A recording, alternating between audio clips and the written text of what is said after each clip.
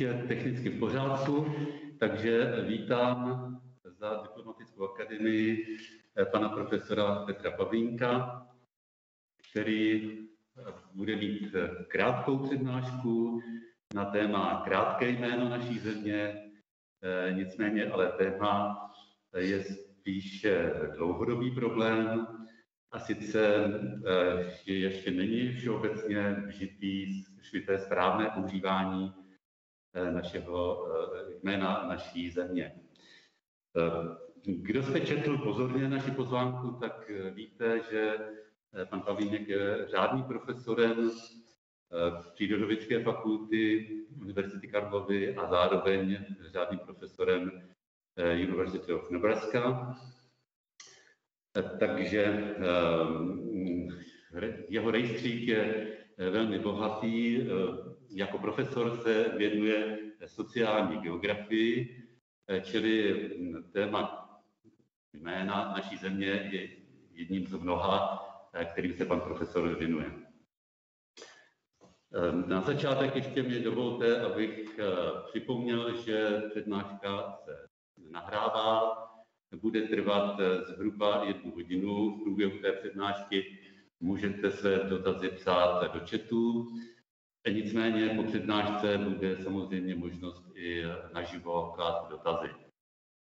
Tak eh, to si myslím, že by mohlo být na úvod asi vše. A nyní požádám pana profesora, aby se ujmul slova. Dobrý den, eh, děkuji vám všem za účast a děkuji za pozvání na tuto přednášku. Já jsem ji nazval krátké jméno naší země, podceňovaná součást moderní české státnosti. A nejdříve eh, vám stručně řeknu, o čem ta přednáška bude. Eh, vysvětlím ze začátku rozdíl mezi formálními a krátkými jmény státu a z jakých situací se používají. Potom už se zaměříme na krátké jméno naší země, česky Česko a anglicky Čekia a povíme si nejdříve něco o historických kořenech krátkého jména našeho státu. Potom se budeme zabývat eh, historií, která je modernější a čerstvější a především se zaměřím na to, proč oficiální schválení krátkého jména a především teda jeho mezinárodní standardizace tak dlouho trvala. Dále se uh, také budu zabývat tím, uh, v čem náš stát selhal, ale také stále selhává používání svého krátkého jména a proč nám lpění na formálním jméně a především komolení toho formálního jména velmi škodí v zahraničí pro budování jasného jména a jasné mezinárodní značky. Uh, ukážu vám důkazy o tom, že jméno Čekia se v zahraničí od své mezinárodní standardizace a oficializace velmi rychle šíří, i přesto, že u nás v Česku se tvrdí, že tomu tak není. A nakonec uh, velice stručně uh, navrhnu nebo schrnu profesionální přístup ke správnému používání jména našeho státu, Eh, samozřejmě já jsem přesvědčený o tom, že především diplomaté eh, by v tomto měli mít jasno a měli by se eh, chovat profesionálně. No a na závěr přednášky otevřu prostor pro, pro diskuzi a budu odpovídat na různé dotazy. Takže začnu jménem státu, které vedle vlajky státního znaku hymny a národní měny je jedním ze základních atributů státnosti. Z tohoto důvodu samozřejmě to jméno státu je velmi důležité a je velmi důležité i to, aby se správně používalo. Obecně mají státy dva typy jmén. Je to jméno formální a je to jméno zeměpisné. Takže začneme tím jménem formálním, které se také nazývá jméno politické. Někdy také uslyšíte, že to je jméno dlouhé v angličtině long name. A to jméno formální odráží současný politický systém daného státu. To znamená, eh, jestli to je republika nebo jestli to je království, může to být sultanát, může to být také knížectví a tak dále. Používá se to formální jméno především v mezinárodních smlouvách a také v diplomatickém protokolu. Mám zde uvedeno několik příkladů formálních jmen států. Spolková republika Německo, Francouzská republika, Dánské království, Lichtenštejnské knížectví, sultanát Omán, Švýcarská konfederace a pro náš stát to je samozřejmě Česká republika. Druhým základním typem jména státu je jméno zeměpisné, kterému se také říká jméno krátké. Jméno krátké proto, protože to zeměpisné jméno je většinou jednoslovné, ale není tomu vždy tak. A určitě všichni z vás by mě dokázali najmenovat uh, zeměpisné jméno uh, některých zemí, které není jednoslovné, ale například dvojslovné.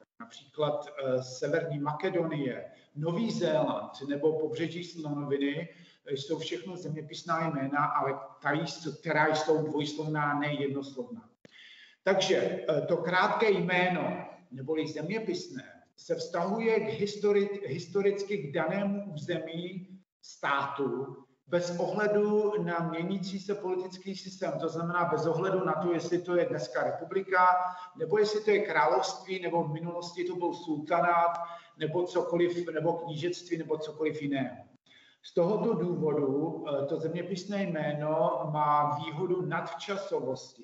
A kdy se používá? No, používá se v podstatě eh, v běžné řeči a ve všech případech, kdy používání toho formálního jména není nutné.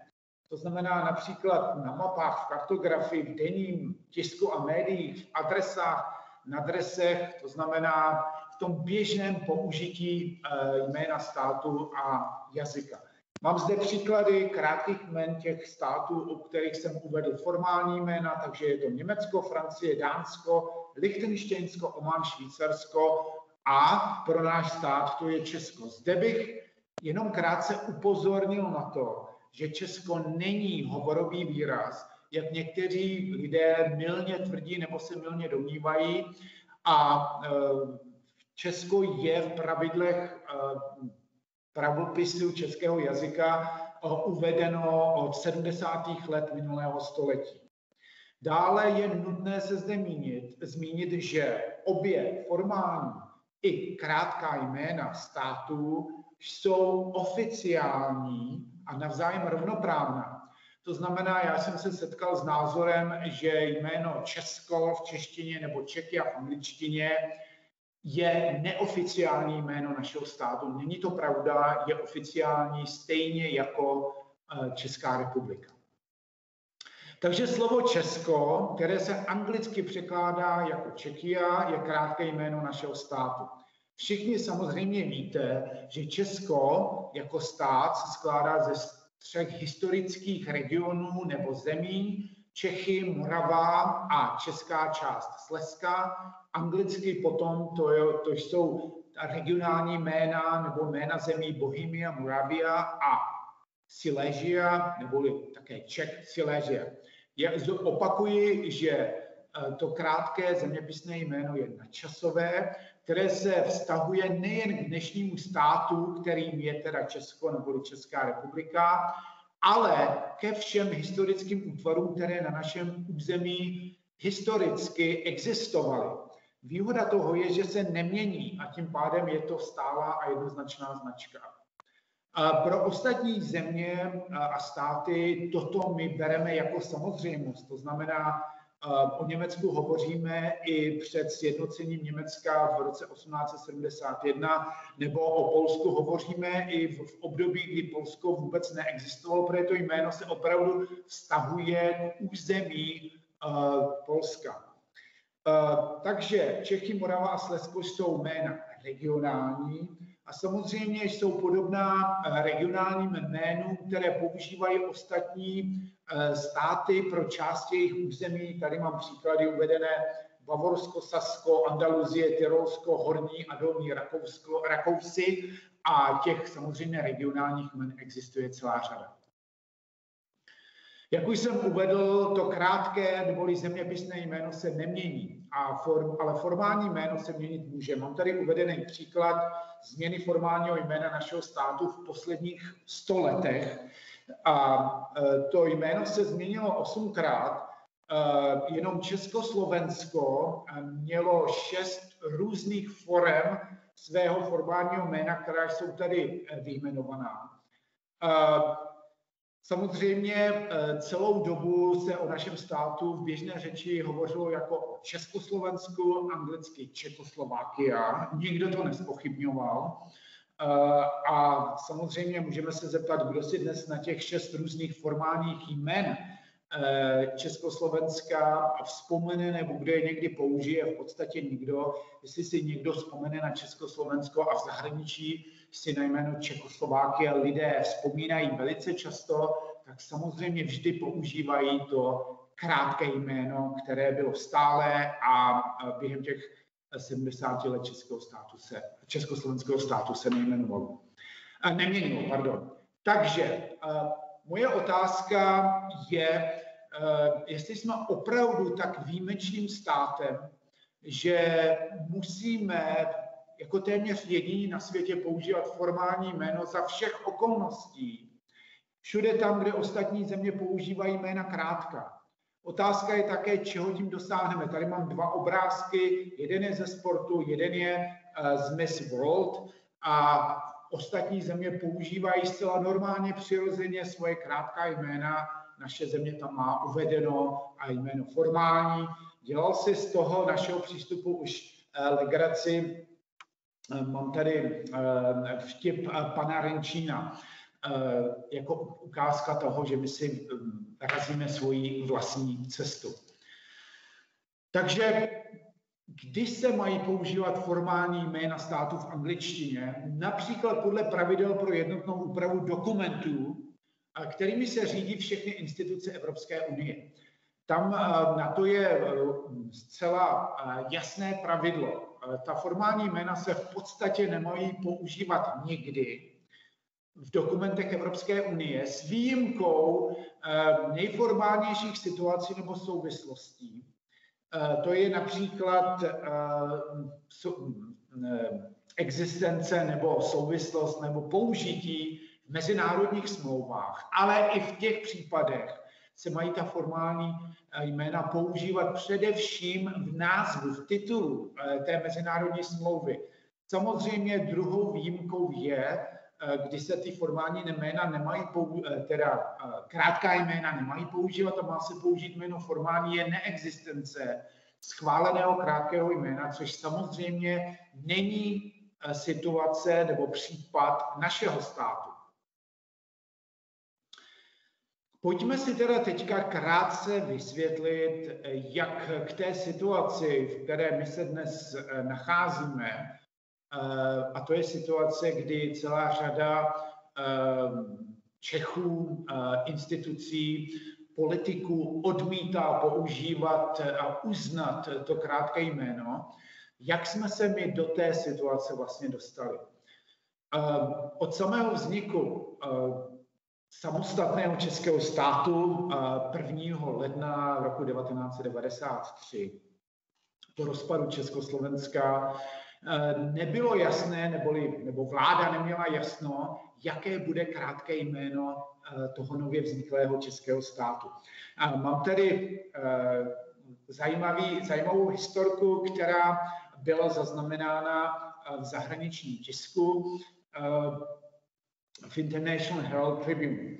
A 2. Um, ledna roku 1993 uh, předstoupil nový ministr zahraničí Josef Zelenec uh, samostatného českého státu a uh, odpovídal na otázky zahraničních novinářů, kteří se zajímali o to, jaké bude krátké jméno, jméno České republiky v angličtině protože samozřejmě oni chápali, že to formální jméno je Czech Republic v angličtině, ale všechny země státy mají zároveň krátké jméno, které se používá v tisku, v médiích, v běžné řeči a tak dále, jak jsem vysvětloval.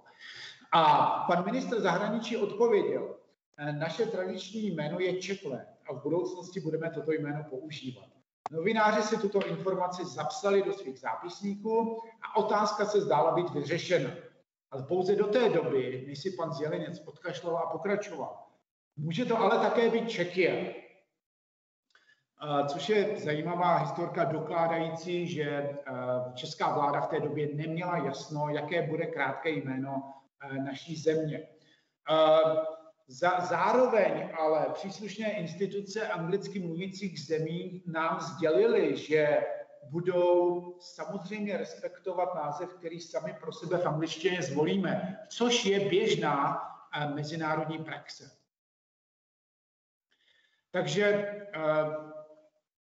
jaké je to standardizované jméno krátké naší země a kdy k té, kdy k té standardizaci došlo.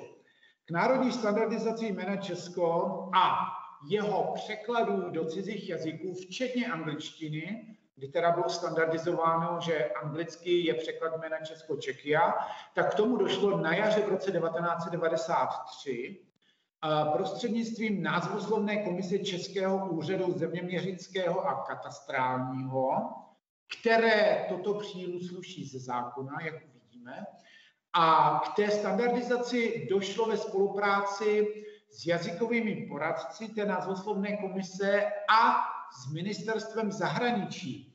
Je důležité si uvědomit, že eh, ministerstvo zahraničí u té standardizace bylo od samého počátku. Ta uh, názvoslovná komise měla 55 jazykových poradců, kteří jsou tady vyjmenováni a výsledek té národní standardizace byl podle pravidel OSN a potom zveřejněn eh, v publikaci jména států a jejich územních částí. Zde je asi vhodné uvést, že mezinárodní standardizace jmen zemí má samozřejmě přesně stanovená pravidla a prvním krokem pro mezinárodní standardizace země je ta standardizace na národní úrovni, ke které teda u nás došlo v roce 1993 na jaře a dalším krokem je potom standardizace na úrovni mezinárodní. Zde máme eh, důkaz toho, že se jedná o zákonný proces, který dnes se řídí zákonem 200 z roku 1994, sbírky paragraf 3 a 4. A je, zde důležité uvést eh, to, co eh, v roce, 19, eh, v roce 2014 oficiálně deklarovala názvoslovná komise, že se nejedná o názor, ale o zákonný výsledek procesu standardizace, který se od roku 1993 nezměnil.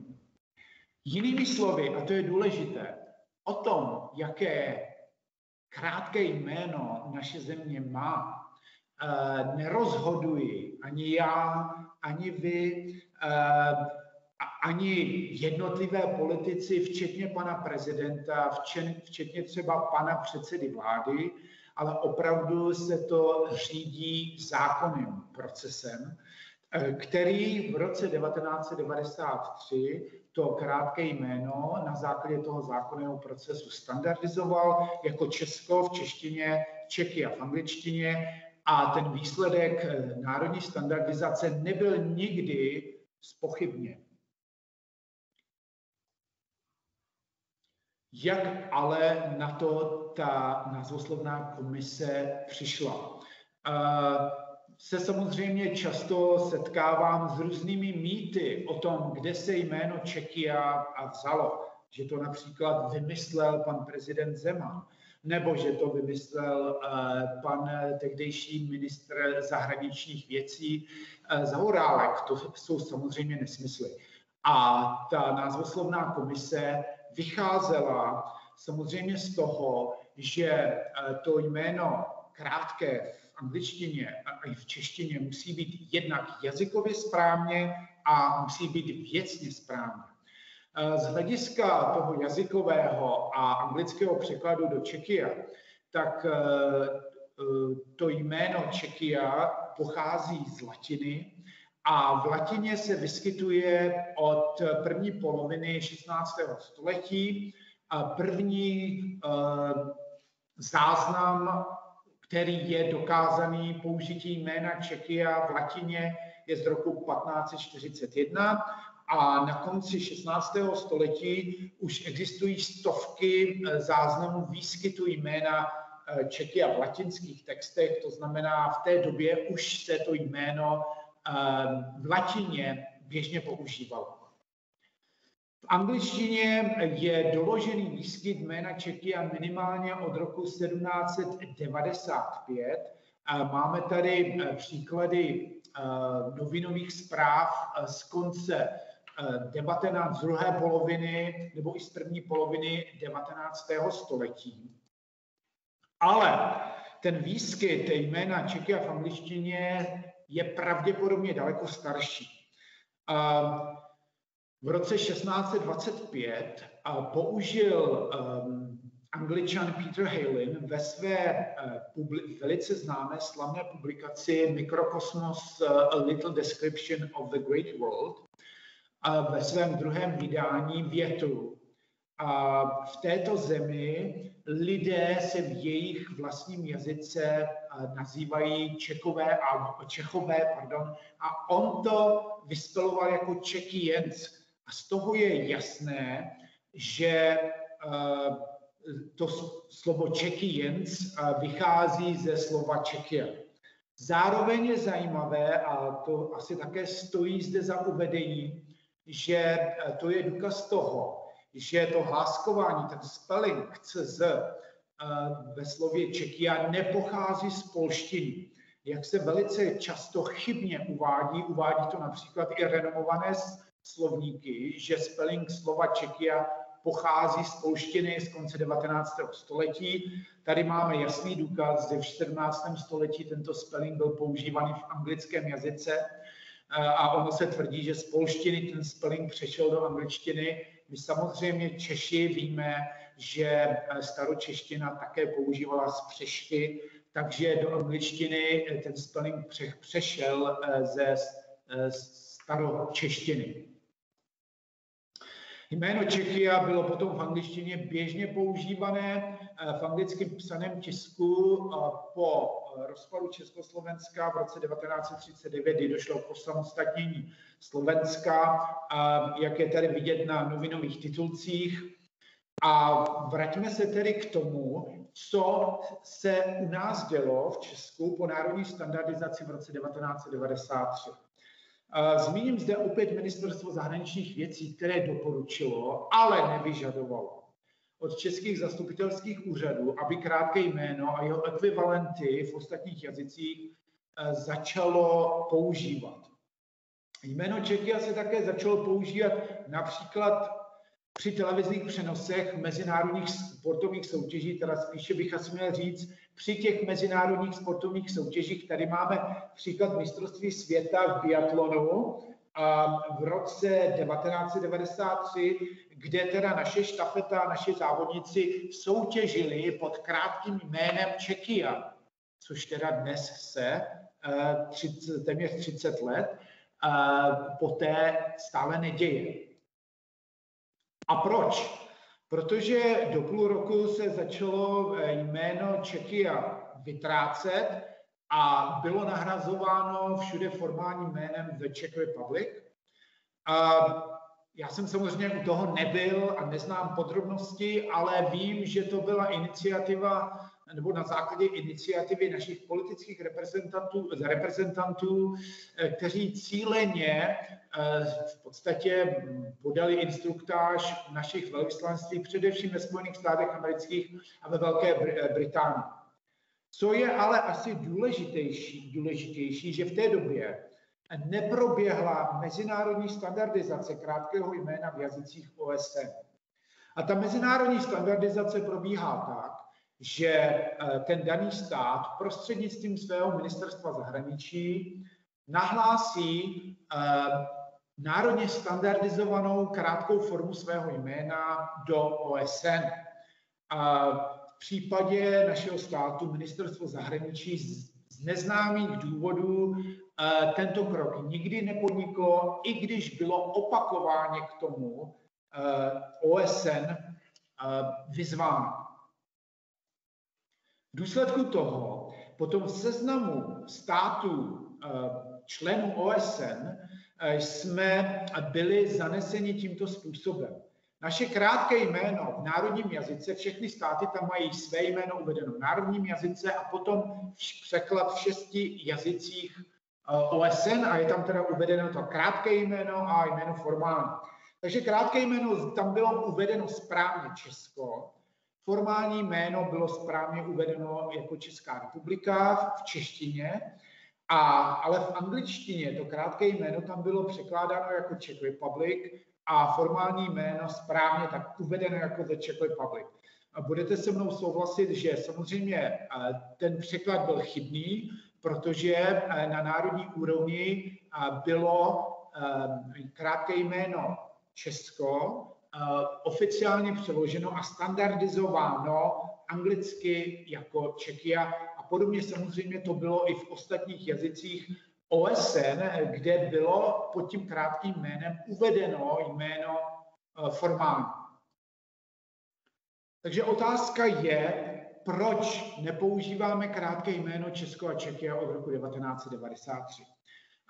Jenom krátká výhybka. My jsme v tomto směru zdaleka nejméně úspěšní ze všech nově vzniklých států ve východ, bývalé východní Evropě na začátku 90. let. Všechny ostatní státy světu oznámili, jasně, my se jmenujeme Republika Chorvatsko a, nebo Chorvatská republika a krátce jsme Chorvatsko a anglicky The Republic of Croatia anglic, a krátce Croatia a to jsou naše formální a krátká jména a ty budeme používat.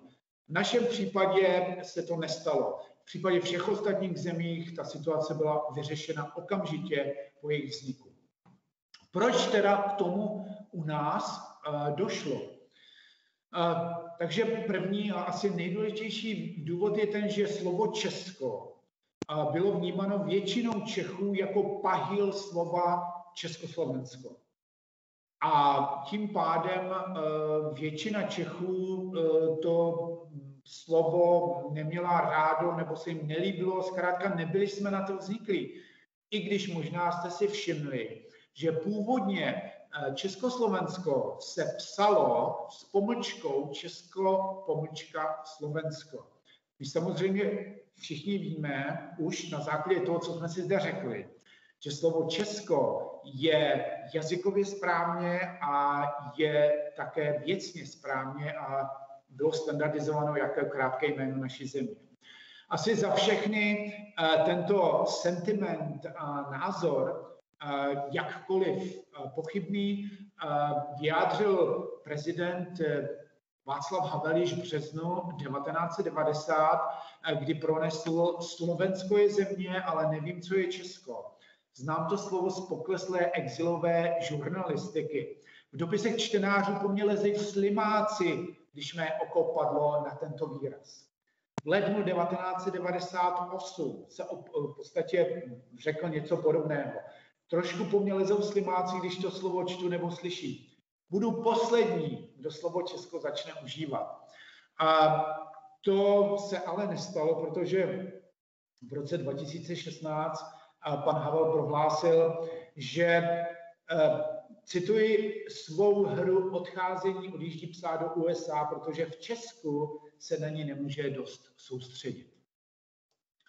No a zde bych samozřejmě eh, jenom se krátce zmínil o tom, že je velice důležité, co eh, mocní lidé nebo političtí reprezentanti státu, eh, jaký slovník používají, jak ten stát nazývají protože tím používaným jazykem nastavují společenskou normu, která určuje, co jsou přijatelné hranice řeči o daném tématu. V našem případu, jaké je přijatelné nebo nepřijatelné jméno státu, jak ho používáme v řeči.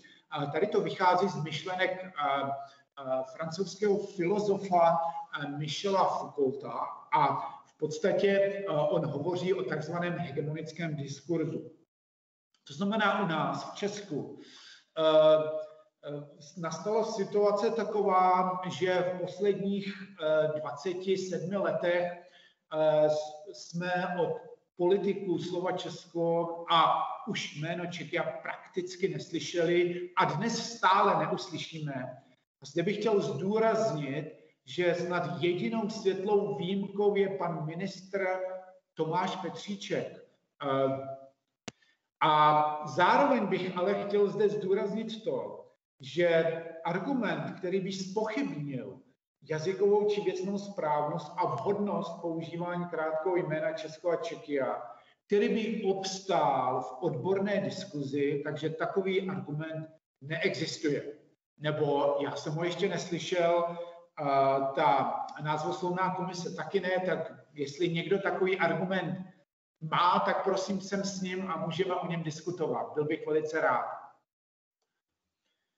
Takže znova opakuji, Čekia je jazykově správně. Ehm, my již víme, že koncovka ia vychází z latiny a v latině se pro pojmenování území a států používá a používala koncovka ia. Tady je uvedený seznam států, které používají koncovku ia. To znamená, že můžeme klidně vyvrátit jeden z dalších mýtů, který šíří bývalý ministr zahraničí, pan Vondra, který tvrdí v médiích, že slovo Čekia je nepřijatelné, protože mu připomíná slovo Raša. A tím, že nás to posouvá někam na, výhod, na východ, je to samozřejmě nesmysl, protože já můžu tvrdit, nebo vy, že vám slovo Čekia připomíná Kalifornia nebo Austria, nebo Bolívia, které zrovna na východě e, nejsou.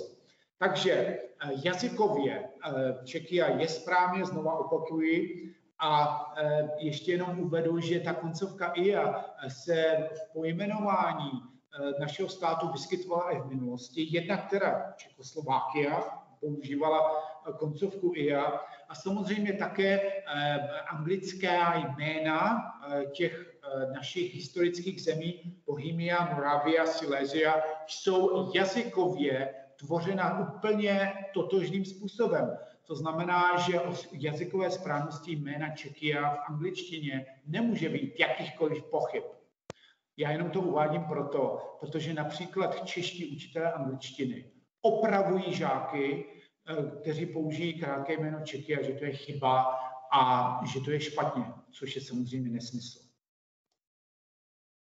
Takže jediným argumentem, eh, který lidé eh, proti slovu Česko a Čekia mají, že se jim nelíbí. A jiný, jinými slovy, eh, co to znamená, že na to slovo nejsou zvyklí. Je zajímavé tady jenom zmínit, že podobné argumenty existovaly i proti jménu Čekoslovákia proti kterému horovali například bratři Čapkové. Nám se to může zdát dneska eh, docela zvláštní, protože my jsme si na jméno Československo a jeho anglickou verzi Čekoslováky a samozřejmě zvykli. A, eh, ale na začátku 20. let v zahraničním tisku se hovořilo o tom, že to slovo je strašné, že nevys, ne, nedá se vyspelovat, vyhláskovat v angličtině, že to je v podstatě Eh, pro Československo nebo pro ten stát jakoby handicap a že to je jeho nevýhoda. Takže otázka je, proč my nejsme na jméno Česko v češtině a ještě jména, na ještě více na jméno Čechy a v angličtině je zvyklý. No jedním ze základních důvodů je, já jsem teda uvedl ten hegemonický diskurs, že politici to nepoužívají, opravdu se světlou výjimkou eh, našeho pana ministra zahraničí, za, který bych, za, za což bych mu já chtěl tady veřejně poděkovat a je to velice správné. Eh, odborně samozřejmě i jazykově. Takže proč my na to nejsme zvyklí? S druhým důvodem je to, že jméno Česko a už vůbec ne Čekia děti ve škole neuslyší. To znamená, vzdělávací systém eh, děti žáky jméno Česko neučí. To se nevyskytuje, to v podstatě neexistuje. Podívejme se tady eh, na vlastivědu pro pátou třídu základní škol. Takže buď to tam je Česká republika, samozřejmě eh, zvláštně je a nesystematicky uvedena na seznamu našich sousedů. Máme Českou republiku, pak máme Slovensko, Německo, Polsko, Rakousko. Samozřejmě tam by se systematicky a jazykově hodilo Česko, samozřejmě. A nebo máme všude uvedeno čr, čr, čr, což je samozřejmě špatně. Tady máme další příklad z vlastivědy, tentokrát to je snad pro čtvrtou třídu. A opět, slovo Česko se tam, pardon, nevyskytuje, jak zde vidíme. To znamená, žáci s ním nikdy nepřijdou do styku, nemůžou si zvyknout a samozřejmě naprostá většina učitelů a učitelek používá jméno Česká republika pro naše zem. Podobně to vidíme zde zase pro vlastivědu pro pátou třídu základních škol. A samozřejmě podobná situace je v angličtině. Takže opět my zde máme, tady máme snímek z, z televize z roku 2020 z učitelky, kde se vyučovala angličtina a máme zde uvedeno naše sousedy Germany, Austria, Slovakia, Poland. To znamená krátká jména, a pro naši zemi máme, nebo pro náš stát, tady máme Czech Republic a Česká republika. Samozřejmě bez v češtině. V angličtině bez členů, eh, což eh, je jeden z problémů jazykových, o kterých my tady můžeme hovořit, který samozřejmě to krátké jméno Čekia nemá, protože to se bez členů používá, zatímco formální jméno The Czech Republic vždy vždy zdůrazňuji, tam ten člen musí mít. A e, ve školách se krátké jméno Česko a jeho překlad v angličtině Čekia nepoužívá přes jasné doporučení a pokyny od ministerstva školství s jménem pana ministra Eduarda Zemana z roku 1999. E, jméno Čekia bylo uvedeno ve sbírce zákonů v roce 1998 později bylo odstraněno, dnes už tam opět je. Ministerstvo zahraničí také doporučovalo používání krátkého jména Čekia jménem eh, náměstka, v tomto případě panem pana doktora Jana Winklera. Toto doporučení bylo samozřejmě, jak než již víme, ignorováno. No a z toho našeho takového lavírování si dělal legraci na tomto typu, ehm, co se týče toho našeho jména, i eh, pan Jiránek. A to bylo v roce 2001. Samozřejmě, vy mě můžete říct, no a co je na tom špatně? Teď Česká republika a Czech Republic, my jsme na to zvyklí, uh, proč by to mělo být problém? Uh, my, my, my to používáme.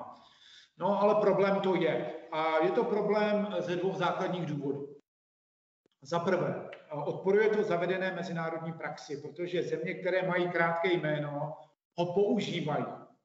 Já se vás v diskuzi zeptám, jestli víte o státech, která, které nemají krátké jméno, to můžeme potom diskutovat, ale Česko to rozhodně není. My to jméno máme a máme ho mezinárodně standardizované a mezinárodně uznané.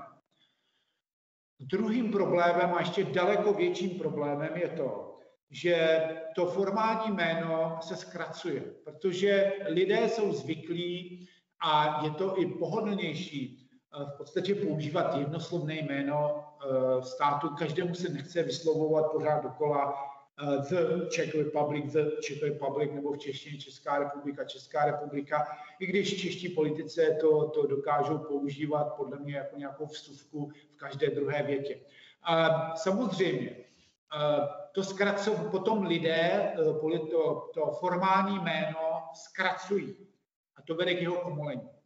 A existuje celá řada těch zkomolenin českého jména nebo jmén v češtině, jména našeho státu, a v angličtině, teda především v angličtině, pardon, která se používají.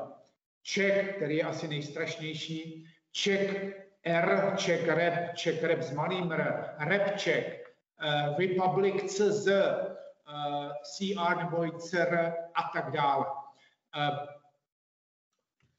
Ty komoleniny se používají například ve sportu kterým se náš stát reprezentuje v zahraničí. Řada z vás to zažila, nebo to víte z doslechu, že například v Nagánu při tom našem slavném vítězství v olympijských hrách v hokeji všichni naši hráči měli na drasech obrovský ček.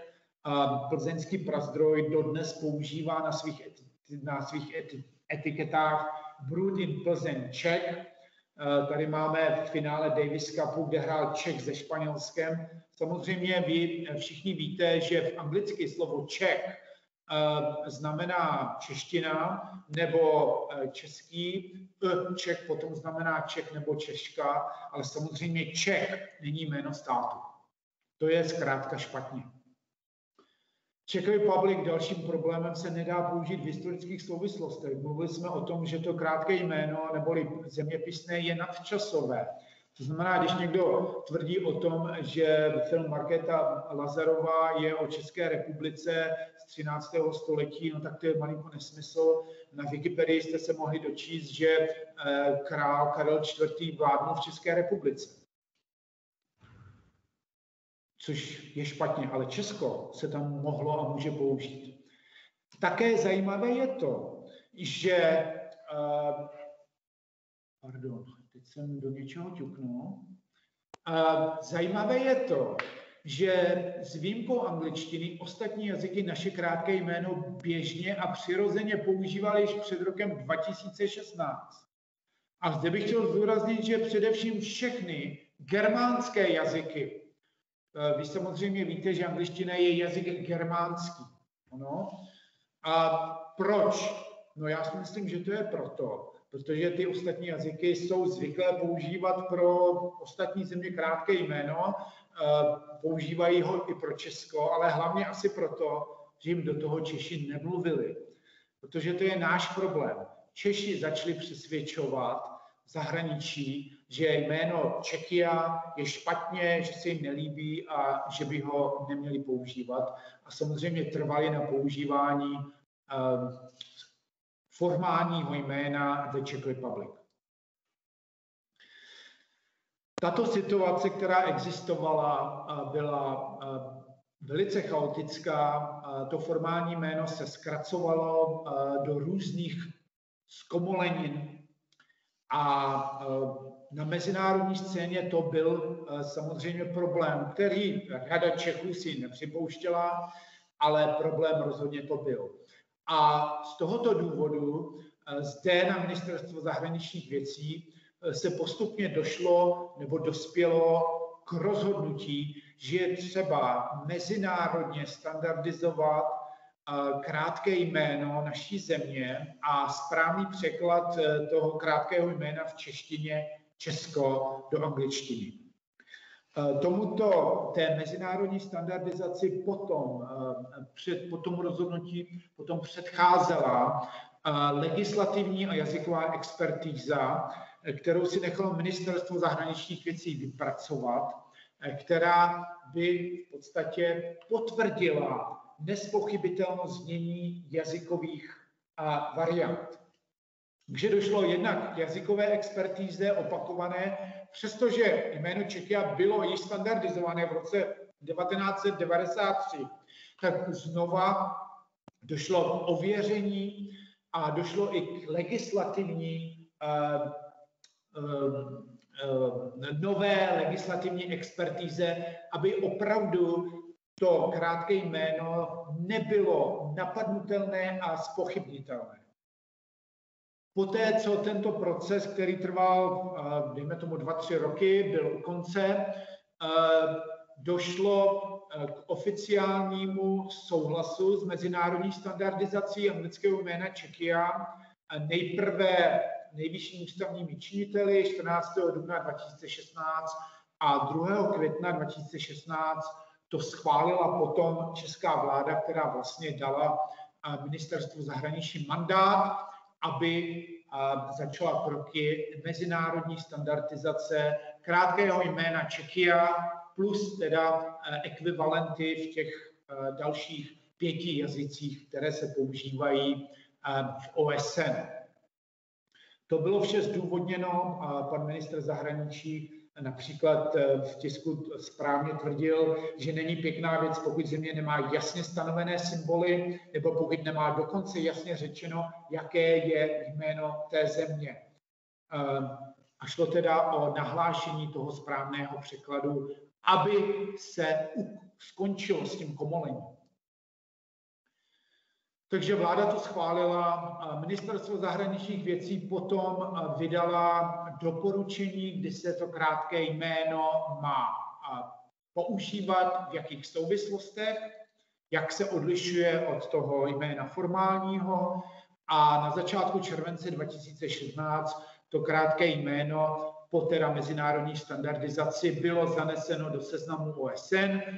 Tím bylo nejen mezinárodně standardizováno, ale i mezinárodně uznáno a e, ten od té doby ten zápis našeho jména, e, jak toho krátkého, tak toho formálního e, vypadá takto a v češtině a v angličtině je správně, já nedokážu posoudit další jazyky, byly zde nějaké dotazy nebo otázky nebo pochybnosti o tom překladu v, v, v arabštině. Co následovalo té, tomu, tomu, tomu mezinárodnímu uznání a mezinárodní standardizaci jména Čekia? No to jméno krátké eh, se začalo v zahraničí rychle šířit. Navzdory tvrzení u nás, že se ve světě neujalo a že ho nikdo nepoužívá. Eh, pojďme se rychle podívat na několik eh, významných příkladů. Takže už v roce 2017 krátké jméno Čeky a začalo používat Google ve všech svých aplikacích, včetně Google Maps a Google Earth. Evropská unie používá jméno Čekia jak v psaném projevu, tak v řeči. Například zde máme ukázku z, z projevu Uršuly von der Leyen. Takže používá se v Evropské unii používá jméno Čekia také US Department of State nebo vlivná CIA World Factbook. Jméno Čekia se používá v Eurostatu, používá ho statista, Dále ho používají všechny aplikace Apple, včetně Maps. Představte si jenom, kolik milionů lidí má tento telefon a kolik milionů lidí, lidí to jméno Čekia na mapě samozřejmě vidí. Používá to taky všichni, všechny telefony systému Android, Xiaomi, takže všechny chytré telefony používají krátké jméno Czechia. A jméno Czechia se začalo velice rychle šířit v online prostoru, v různých aplikacích. Tady mám příklad vpravo Stravy, používá to Instagram, používá to Facebook, používá to LinkedIn, to znamená celá řada aplikací. Dále v dnešní době všechny nejvýznamnější světové covidové statistiky používají krátké jméno Čekia, včetně eh, samozřejmě eh, University John Hopkins, USA, včetně Worldometer nebo Our World in Data. Eh, používá to samozřejmě i databáze Evropského centra pro kontrolu a prevenci nemocí. Používá to například tady ta observatoř ekonomické aktivity, která je taky eh, velice rozšířená, známá a aplikace. Celou řadu let už používají eh, jméno Čekia různé učebnice. V USA je zajímavé, že toto je z roku 2014, ještě dva roky před tou eh, mezinárodní standardizací krátkého jména Čekia, ale tady to samozřejmě pro kartografy to dává smysl. Je to Samozřejmě systematické, protože ostatní země jsou tam krátkým jménem a Čeky asi tam daleko do našeho malého území na tu mapu lépe vejde než Czech Republic, která se různě zkracovala na Czech, Czech, Czech Rep a tak dále. Zde máme vlevo příklad propagačního šutu na skotské referendu z nedávné doby, které používá jméno Čekia. Americké firmy začaly jméno Čekia používat i v Česku tady máme e, firmu Visa, to je fotka z pražského metra, nebo e, je Taco Bell Czechia. No a zde máme e, nové vydání Lonely Planet, která dlouho odolávala, ale vidíme, že také přechází na jméno Czechia, takže to nové vydání je z Prague and Czechia. Takže eh, jméno Čekia se v zahraničí velice rychle šíří. Samozřejmě Czech Republic má obrovský náskok, ale ten se postupně stahuje. Takže tvrdit tím, že když si dáte někdo do vyhledávače Czech Republic, který se používal exkluzivně 28 nebo 26 let, a jméno Čeky a že tam je víc výskytů jména Czech Republic a tím pádem jméno Čeky a nikdo nepoužívá, tak to je velice slabý argument.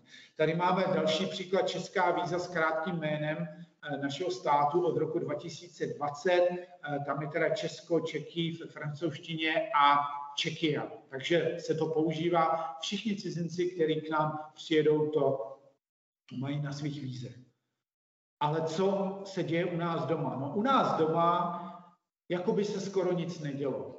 Jako by se nic nestalo, komolení pokračuje, dokonce e, krátké jméno naší země, nebo jméno naší země, komolí prezidentská kancelář, která používá zkratku CR neboli CR v angličtině, která v angličtině má 228 významů, Čeky je jenom jeden ale hlavně CR je mezinárodně standardizovaný dvojpísmenový eh, kód pro stát Kostariku. Samozřejmě, že eh, na to byla prezidentská kancelář upozorňována, ale eh, bylo to bez, bez odezvy.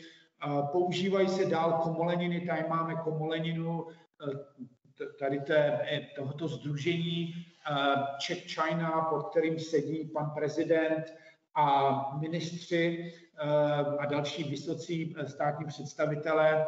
Správně by to bylo pouze Čeky a China, a případně Czech Chinese byl, takže anglicky to je špatně. A samozřejmě všichni asi víte, že Czech China znamená česká Čína v angličtině. Případně to znamená český porcelán ale Ček není jméno státu. Takže pod komoleninou a špatným, špatným jménem se v podstatě prezentují i nejvyšší představitel našeho státu. Všichni jste samozřejmě slyšeli o návštěvě delegace Senátu na Tajvanu uh, na konci loňského roku. Ta, ta se pišnila od znaky Český Tajvan což samozřejmě není, špra, není správně, je to špatně. Ano, můžete mě eh, říci, že tam tím malým písmenem je napsáno ještě friendship. Ale Czech Taiwan friendship je taky špatně. Muselo by to být buď to Czech Taiwanese friendship, aby to bylo správně, ale oni tady mají Czech Taiwan uh, friendship, takže je to špatně. No a Czech Taiwan znamená český Taiwan, uh, ekvivalentem by, by bylo Taiwanese Czechia, což je samozřejmě nesmysl.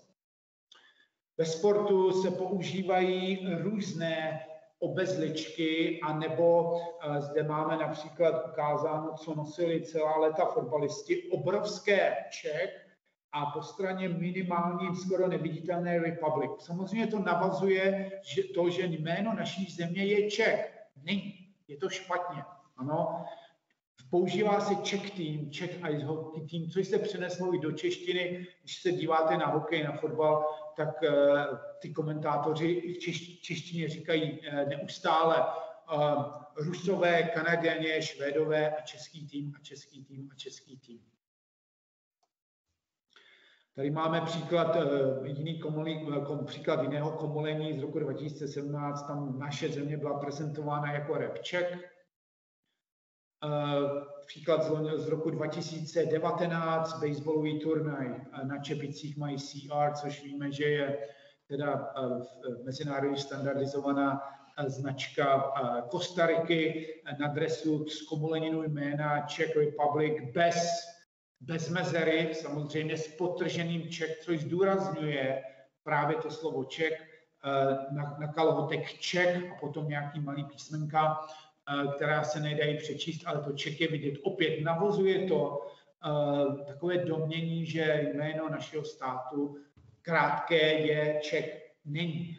Já tomu říkám marketingová šlamastika. Nemáme čas tímto procházet, ale v podstatě to je každý, každý pes, jiná ves, nebo jak se to česky říká, je strašně mnoho různých zkomolenin a forem jak se to krátké jméno v, v angličtině našeho státu používá. Tady mám do, další krásný příklad. Já se odborně zabývám do hloubky automobilovým průmyslem a tady máme mapku, která ukazuje 20 německých firm na, v automobilovém průmyslu v Česku.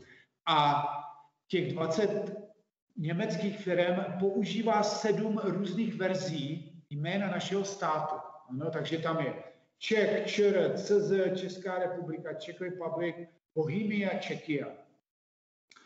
A představte si, eh, že, já nevím, Mexiko eh, by používalo sedm různých verzí eh, svého jména. Kolik, kolik těch verzí byste si dokázali zapamatovat? A jak byste věděli, která z těch verzí je vlastně správná a jak se ten stát vlastně jmenuje? Tady bych chtěl ještě zdůraznit jeden obrovský problém, kterým je Czech Tourism.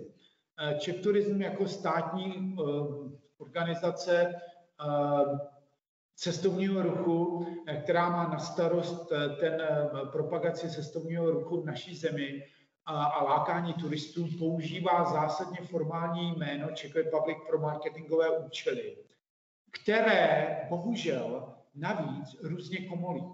Krátké jméno Čekia odmítá a, a zásadně ho nepoužívá.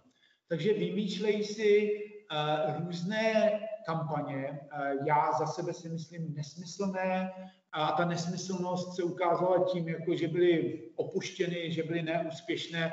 Možná jste někteří zaznamenali kampaň Czech Republic, která nejenže nesplňovala původní zadání a byla přesto vybrána, byla chvíli používána, pak byla opuštěna uh, pro úspěch, uh, pro neúspěch, pardon. Uh, z toho si asi vybrali to potržení, like se jim tak líbilo, že začali potrhávat Čech v komolenině Czech Republic bez mezery. A uh, to používají dodnes.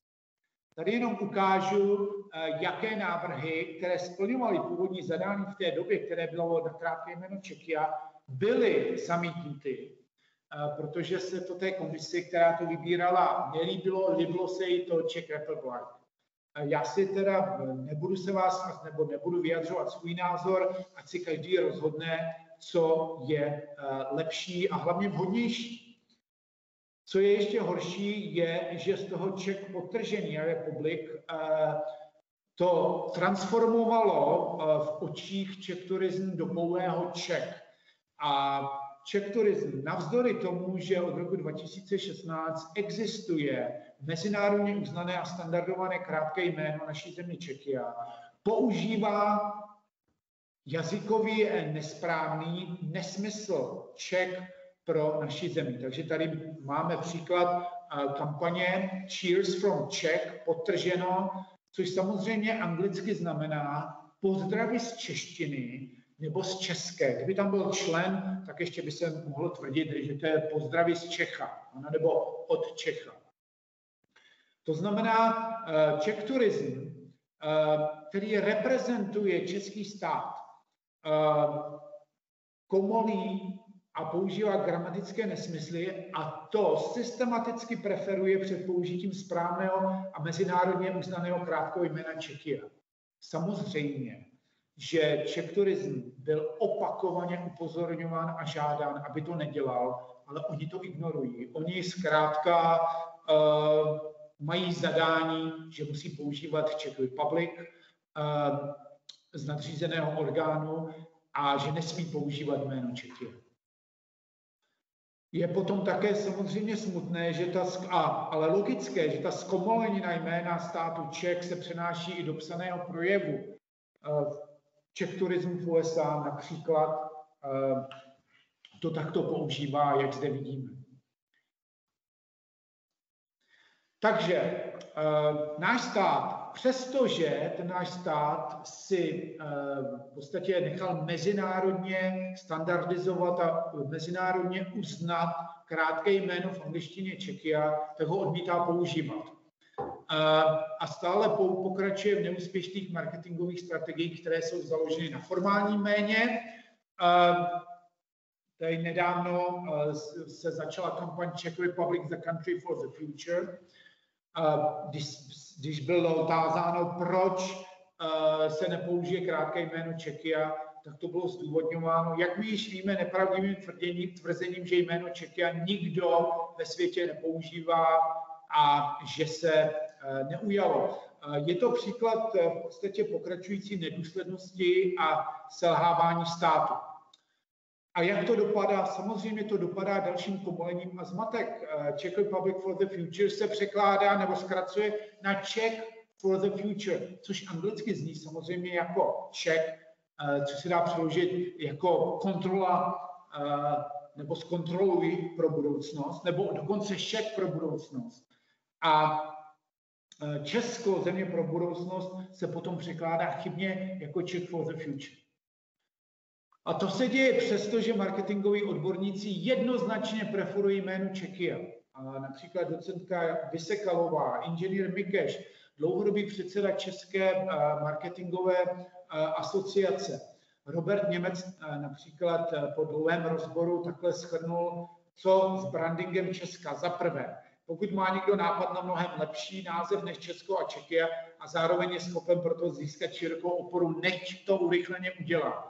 Za druhé, pokud ne, pokud se používat, bude se používat výhradně název Česko a Čekia. Všude. Tečka. V jeden okamžik je potřeba u diskuzí o brandingu říci konec a začít jej realizovat, jinak by se dalo diskutovat do nekonečna. Vůbec nepoužívat název Czech Republic, maximálně po nějakou dobu v závorkách tam, kde to dává smysl, aby si, aby si cizinci uh, mohli zvyknout. Někteří uh, špičkoví čeští vývojáři a designéři to už chápou a začali jméno Čekia používat. Vidíme, že se to dá velice vhodně používat uh, pro Made in Czechia, protože Checkmate uh, se nepoužívá a neudělalo se to. Bohužel to je ale torpédováno tyto snahy od předsedy vlády, například, který otevřeně odmítá jméno Čeky a v zahraničním tisku, například ve, ve Wall Street Journal tvrdil, že vůbec o tom nevěděl, že krátké jméno naší země je Čekiva, Čekia, že vůbec neví, kdo na to přišel a že to byla, jak on řekl, stupid idea, No, ale pravda je taková, že Andrej Babiš hlasoval pro jméno Čeky jako ministr financí při jeho schvalování vládou 2.5. v roce 2016. Eh, je také smutné, že vládní úředníci v čele s panem předsedou vlády dokonce přepisují Čekia z originálních zdrojů na Czech Republic. Tady mám jeden příklad. 8. září 2020 eh, Světová zdravotnická organizace Eh, která vydává statistiky o, o, o covidových nákazách, má tam samozřejmě používá Čekia. Potom v tom, co použil pan předseda vlády ve svém tweetu, někdo asi na ministerstvu zdravotnictví, nebo já nevím, na předsednictvu vlády, kde, kdo to přepsal na Czech Republic. Ano, data jsou stejná, jméno státu bylo přepsáno. Ale možná se není čemu divit, protože pan předseda vlády dokonce neví, eh, jak se krátce správně jmenuje eh, v češtině. Naše zem používá nesprávné Čechy eh, a nepoužívá krátké jméno Česko. Česko z nějakého důvodu je tabu. Takže, kdybychom to shrnuli, český stát stále není důsledný a stále v tomto směru selhává. Proč? Nebo jak se to projevuje? Za prvé nikdo, včetně státních úředníků a učitelů, eh, nebyl úředně o oficializaci a mezinárodní standardizaci a uznání jména Čekia informován. Nikdo nebyl poučen o tom, jaký je rozdíl mezi formálním a krátkým jménem, v jakých situacích a souvislostech se používají. V češtině u ostatních zemí nám to je úplně jasné a přirozené. Eh, u našeho jména to zkrátka z nějakému důvodu nepoužíváme. Český stát odmítá používat jakékoliv páky na své státní organizace, na ministerstva, na sportovní svazy, na školy, aby jméno Čekia začali používat. Místo toho se razí zcela nepochopitelné z mého hlediska, hledisko dobrovolnosti, jinými slovy, ať si každý používá, co chce. No a samozřejmě eh, výsledkem eh, je potom zmatek ty, a ty, a ty zkomoleniny. Eh, odborné názory, včetně těch marketingových, jsou ignorování. Podle mě v tomto stát náš neustále selhává. No a jaké jsou důsledky? Komolení. Komolení pokračuje především uh, námi Čechy, takže my komolíme to formální jméno v angličtině uh, s gramatickými chybami, uh, i když v různých formách a není potom překvapivé, že například kanadští hokejisté si stále myslí, že naše země se jmenuje Ček a ne Čekia, ale tady máme možná světlo na, na konci tunelu, protože basketbalový svaz se v loni rozhodl a prosadil, že na krátkých dresech budou mít basketbalisté reprezentanti Česko, což je samozřejmě normální, protože krátká jména v národních jazycích používají všechny ostatní státy. Takže to není nic zvláštního, jenom nám to muselo trvat skoro 30 let. Dále eh, ve krátké jméno Čekia se objevilo třeba eh, tady na formuláři jednostránkovém z ministerstva zahraničí, teda z ministerstva zdravotnictví, nedávno, ale opět jsou tam tři různé verze. Na jedné stránce Čekia, CZE a Ček, a což je samozřejmě nesystematické, je to chaotické a problém je v tom, jak můžeme očekávat, že si cizinci budou pamatovat e, celou řadu různých men našeho, našeho státu. Důsledky jsou jasné. Je to ta roztříštěnost mezinárodní značky naší země. Z mé vlastní zkušenosti, protože já jsem dlouhodobě žil ve Spojených státech amerických, nikdo tam nezná ani Czech Republic v podstatě, ani Čekia. Většinou se lidi stále chytají na Čekoslováky. A proč? No, protože ten stát uh, minulý nebo Československo, to krátké jméno, jakkoliv krkolomné uh, a složité uh, v, zahraně, v, v tom jazyce, používalo. Samozřejmě důsledkem je to, že tento stav opravdu dlouhodobě poškozuje budování dobrého a správného jména naší země zahraničí. Takže já to uzavřu tím, že eh, jak bychom měli k tomuto problému a vy jako eh, samozřejmě diplomaté nebo budoucí diplomaté nebo zaměstnanci ministerstva zahraničí bychom k tomu měli přistupovat. Za prvé, myslím, je důležité si uvědomit, že klíčem k řešení problému je ochota si přiznat, že vůbec existuje a ne to ignorovat a přesvědcovat se, že v podstatě je vše v pořádku a že ten problém neexistuje. Existuje, věřte mi.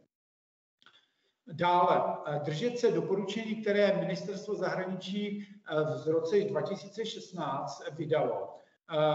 To doporučení, jak na české zahraničí, vysí na stránkách ministerstva, to znamená je k dispozici. Dále, když si nejsme jisti, kdy bychom měli použít krátké jméno, kdy to formální, tak eh, se má, musíme držet zavedené praxe ostatních zemí a naší vlastní praxe pro ostatní země. To znamená, kdy použijeme pro Francii nebo Chorvatsko jejich krátké jméno, tak použijeme krátké jméno i pro naši zemi, kdy použijeme, použijeme formální jméno Francouzská republika nebo Chorvatská republika nebo Španělské království, no tak tam samozřejmě patří Česká republika, jak v češtině, tak v angličtině. Měli bychom se i držet těch pravidel pro jednotnou úpravu dokumentu Evropské unie při psaném projevu. Samozřejmě být flexibilní, otevření změnám a učit se. Pokud na to nejsme zvyklí, tak si to 20krát řeknu slovo Čekia a už mě to bude připadat za chvíli normálně. No. Já jsem to taky od začátku samozřejmě nepoužíval. A to znamená, eh, zvyk či nezvyk, kterým se mnoho lidí, i profesionálů, řídí, nebo oni tvrdí, mně se to nelíbí, já to nebudu používat. Já si myslím, že to je vyloženě neprofesionální přístup a že to je opravdu eh, špatný rádce. A zde. Tady mám příklad našeho velvyslanectví v Austrálii, které to, ten problém chápe dobře. No a tímto snímkem konečně to uzavírám. To znamená, já jsem přesvědčený o tom, že není otázkou, jestli se jméno Čeky a prosadí. To je zcela jasné, že se prosadí. A je to otázkou, otázkou, jak dlouho to bude trvat. Opravdu jedná se o zvyk a to, ta naše nedávná minulost těch posledních 27 let existence samostatného Česka nám ukázalo, že trvání a neustále používání pouze formálního jména tomu jménu naší země v zahraničí opravdu nesloužilo a neslouží dobře. To znamená, musíme to změnit my, Češi, my to musíme používat. Nesmíme spolehat na to, že zahraničí nás k tomu povede.